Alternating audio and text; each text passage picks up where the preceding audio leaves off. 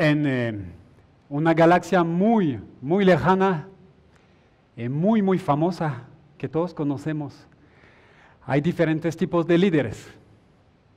Por ejemplo, estos dos líderes icónicos, Darth Vader y Maestro Yoda. Darth Vader es un líder técnicamente competente, es un buen piloto, es un buen guerrero, tiene su norte estratégico muy claro. Darth Vader ejerce un control de un control, un poder fuerte sobre las personas para lograr sus metas. Él ejerce un liderazgo de control absoluto. Por lo tanto, tiene seguidores, todos uniformes, todos iguales, sumisos, dóciles y eso no sé por qué, con muy mala puntería. Su eterno rival, Maestro Yoda, él no pide sumisión. Yoda pide un conocimiento ontológico, un, conocimiento de tu ser. Yoda pide que para servir una causa que él estima justa, encuentres tus miedos, tus debilidades, tus fortalezas, tu propósito. Yoda te pide a ti que tú encuentres qué historia quieres escribir para servir a la causa justa. Yoda no es un líder de control, es un líder de descubrimiento. ¿Han notado que Darth Vader tiene una boca como grande? Darth Vader habla, dice lo que él quiere, cómo lo quiere, cuando quiere, no escucha. Y Yoda tiene orejas como grandes y verdes. Yoda escucha, te deja ser quien eres, te tiene presencia, paciencia, confianza, escucha genuina. En la película nos encanta Yoda. En la vida real a todos nos pasa a ser Darth Vader. No porque somos malos, pero por ejemplo, yo he escuchado gerentes decir, yo conozco este negocio y lo van a hacer como yo digo, y si no quieren, aquí está la puerta. O profesores decir, si tú no mejoras tus notas de matemática, voy a tomar sanciones. O papá y mamá decir, presta tu pelotita de fútbol, mi amorcito, y te doy un dulce. No lo hacemos por ser malo, lo hacemos porque es rápido, es fácil, lo hacemos por pereza. O hacemos liderazgo de control porque tenemos la ilusión que lo sabemos todo. O tenemos miedo de no ser suficiente, de no ser bueno o que los demás nos juzguen. El problema del liderazgo de control absoluto no es que esté bien o mal, es que tiene, es que tiene más costos que beneficios. Y también es un liderazgo incompleto, porque no se puede controlar a las personas, eso es una ilusión. También si yo controlo a un grupo o quiero controlarlo para ir de A a B, yo me quito la posibilidad, la posibilidad de ir a C, a D, a F, a mucho mejor. Me quito la posibilidad que la vida y los equipos me den sorpresas.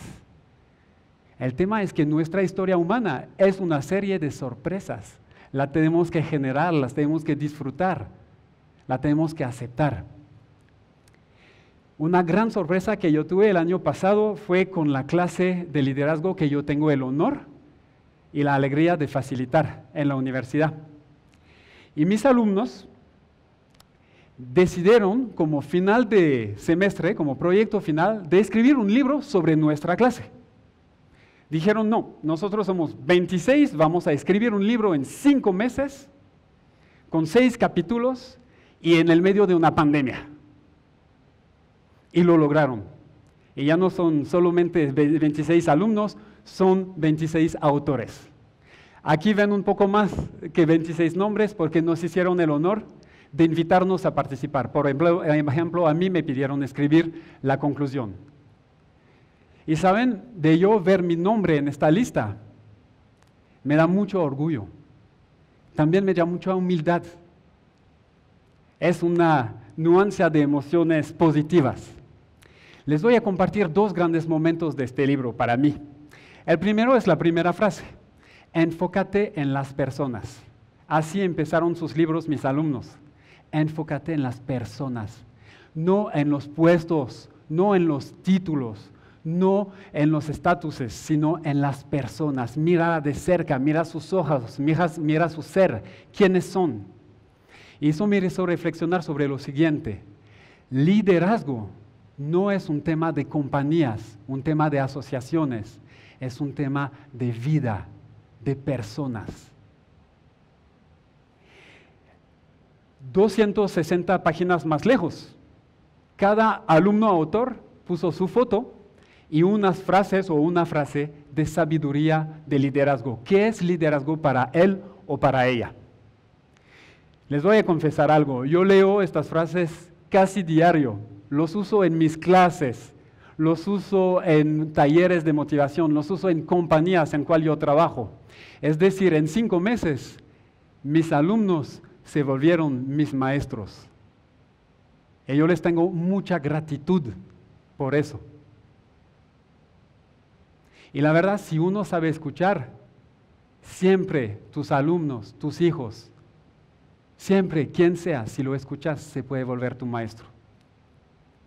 Cuando yo les pregunté, oye, ¿cómo lograron escribir un libro tan bueno que ahorita están negociando para publicarlo? Un libro tan bueno que mi clase de ahorita está tomando el material para hacer podcast, para hacer shows, para ir de Guatemala, de Guatemala al mundo. ¿Cómo lo lograron ustedes? Y me dijeron cuatro cosas. Primero, liderazgo. Todos intentamos modelar el líder que queríamos ser, no alguien más, nosotros lo que queríamos ser. Y eso fue contagioso. Viendo eso, cada uno modeló el mejor líder que podía. Segundo, confianza. Como vimos que había confianza, nos atrevimos a ser nosotros mismos. No pretender que somos alguien perfecto, sino yo voy a contribuir con quién soy, con mis grandezas y mis debilidades. No importa, eso es lo que soy auténticamente. Eso es mi pertenencia genuina. No encajo en algo, soy yo. La escucha, yo admire su escucha a esos dos alumnos. Durante cinco meses obviamente hubo tensión, hubo un momento de debate, de desacuerdo, hubo capítulos que no iban rápido o que no iban tan bien. Tuvieron conversaciones difíciles, pero se quedaron escuchando, no se separaron, tuvieron la valentía de seguir escuchándose, en particular cuando no estaban de acuerdo. Y hubo presencia, hubo solidaridad.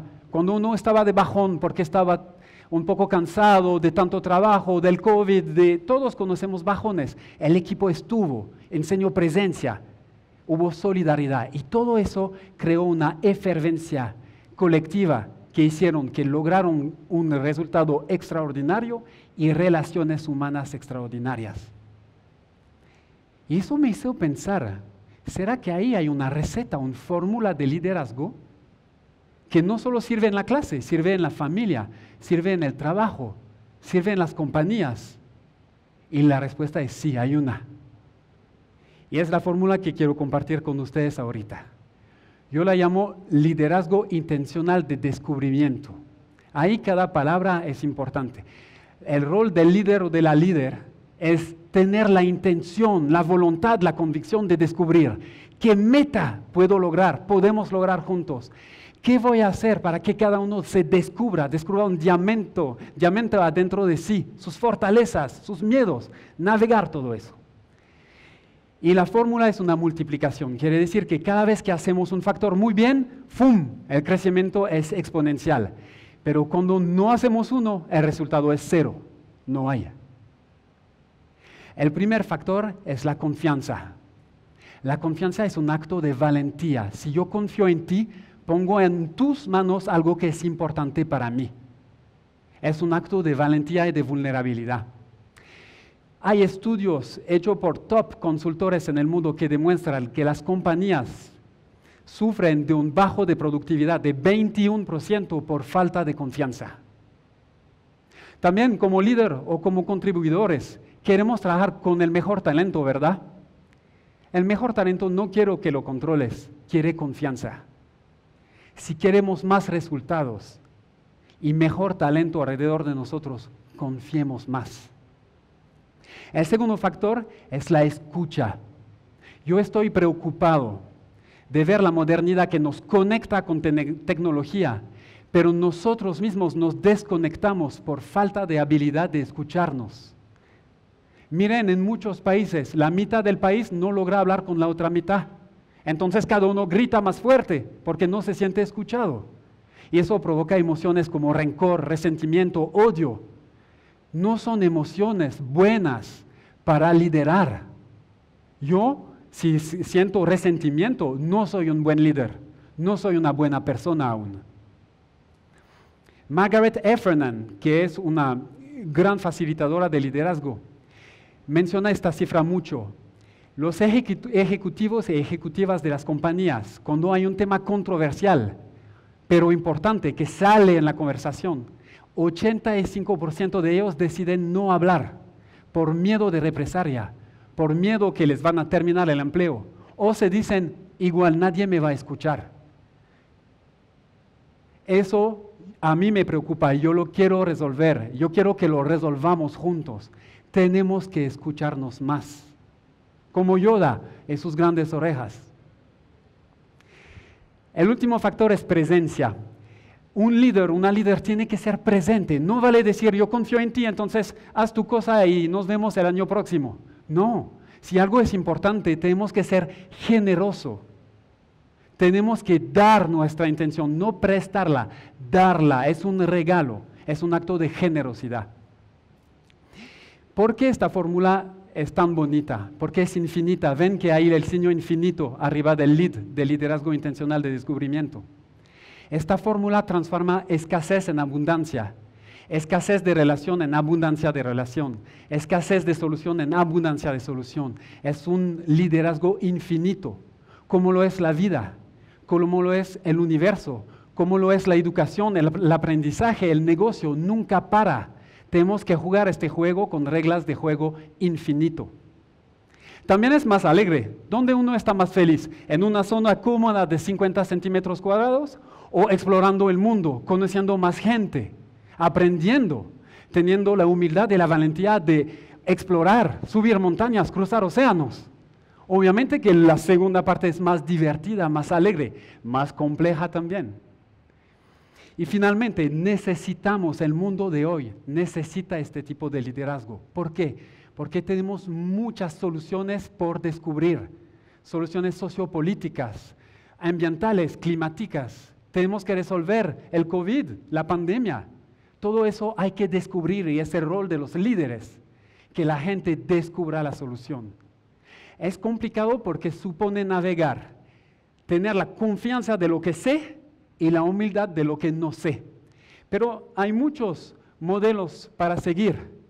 Miren los artes marciales, por ejemplo. En los artes marciales tenemos, eh, tenemos cinta blanca y cinta negra. La cinta negra es la cinta del conocimiento, de la práctica. Saben que la cinta negra es una cinta blanca sucia porque practico mucho al dojo.